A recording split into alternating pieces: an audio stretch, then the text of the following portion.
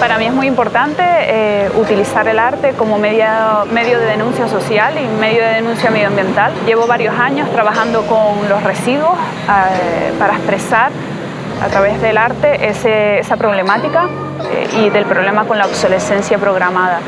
Eh, estuve viviendo en Ghana durante un año, allí pude desarrollar varios proyectos relacionados con esta temática y también pude ver allí en concreto el gran problema o el efecto de los residuos sobre el medio ambiente pero no, tampoco tengo que irme allí para, verlo. Aquí mismo en las costas canarias, las costas de España, en distintos lugares, podemos ver también eh, acumulación de residuos, los efectos del consumo masivo sobre el medio ambiente y es muy importante que los artistas eh, nos podamos comprometer en este tipo de causas y sacarlo a la vista, ¿no? sacarlo a la luz.